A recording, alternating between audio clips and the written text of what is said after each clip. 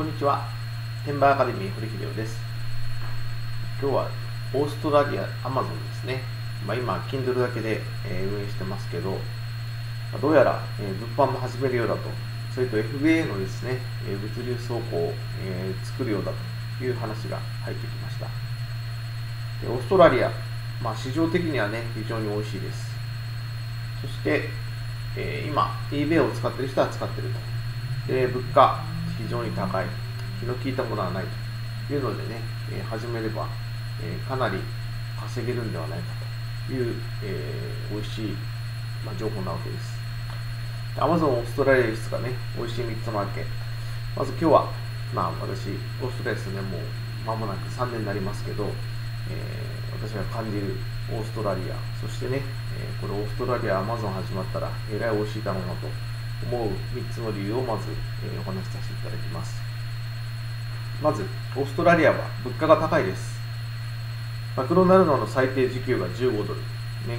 15ドルですよ。1ドル100円だったら1200円。まあ、80円でも1200円。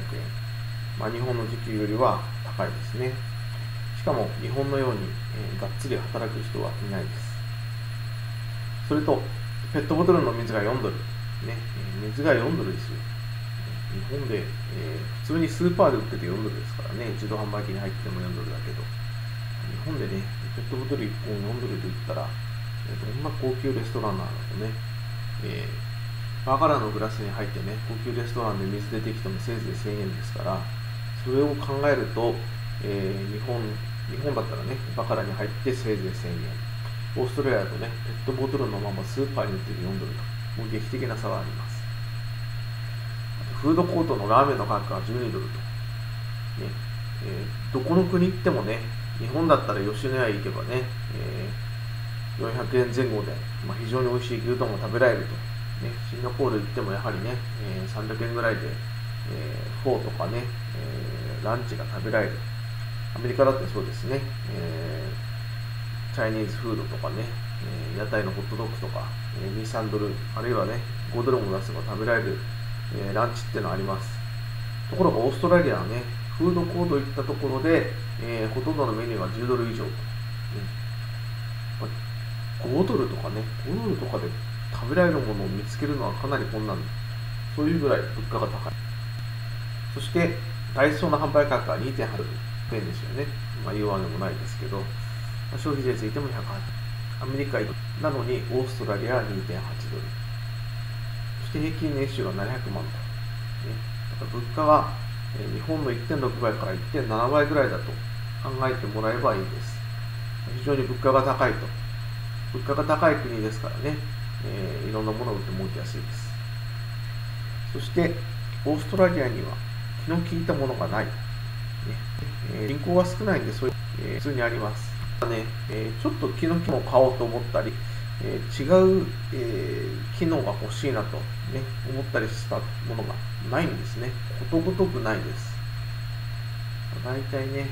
え今、私はアメリカをね、転売の仕入れの視察ツアーに来てますけど、アメリカはやっぱね、日本と同じように物が豊富です。えいろんな種類のものがあって、値段はやっぱり日本より高いものが一般的に多いですけど、すごい割引率のものもあるんで、まあ、相対的に、まあ、日本と物価どっこいどっこいと、ね、そして多いという形です。ところがオーストラリアの場合はね、選択肢は少なくて物価は倍と、ねえー全部が倍じゃないんですけど、えー日本とかアメリカの場合は、例えば定価がね、200ドルのプリンター、どっかで買えばね、100ドル以下で買えるんですね。ところが、オーストラリアの場合は、どこを探してもそんなの100ドル以下で売ってるとこがないと。定価200ドルのものは200ドル近辺で売ってるというような違いがあります。だからね、気の利いたものがない。ね、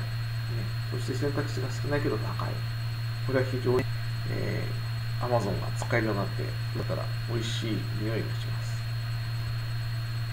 そして、金使いが、値段が非常に高いです。シドニーだと、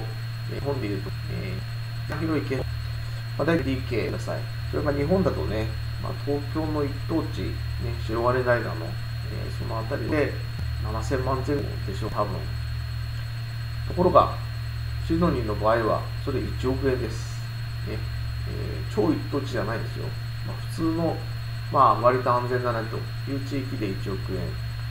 あんまりね、えー、治安がよろしくないんじゃないかなと。ね、油断してると車のものとかよく盗まれるようになって、それでもやかったことは、まあ、多分東京と一緒ぐらい、東京の一等地と一緒ぐらい。まあ、日本だとね、東京の超しまえば、えー、まあ、そもそも100平米って設定するんですけど、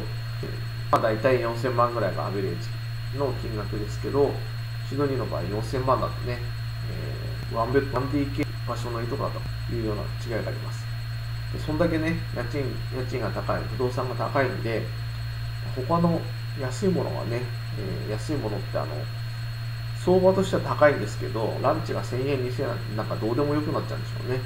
えー、どこもかしこも高いと。だからね、年収1500万を超えても貯金がないなんてのは普通。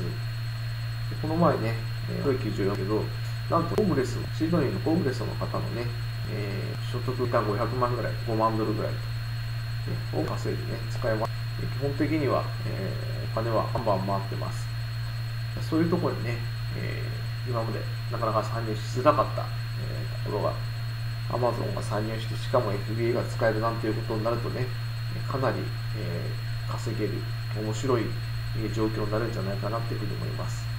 まあ、今後ね、オーストラリアならではの注意点、まあ、オーストラリア、アマゾンができたとき、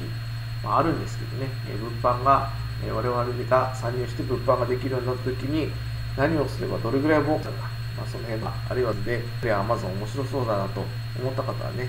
こちらのメルマガの方に、ご登録してください。何しろ、ね、